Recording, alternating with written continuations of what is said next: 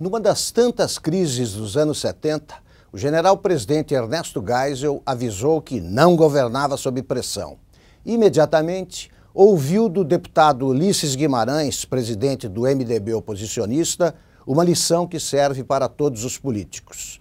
Eu só governo sob pressão, ensinou Ulisses Guimarães. Pelo visto, Dilma Rousseff é da linha Geisel. Ela repetiu que o Brasil não se verá livre de Guido Mantega enquanto houver pressões pela demissão do ministro da Fazenda.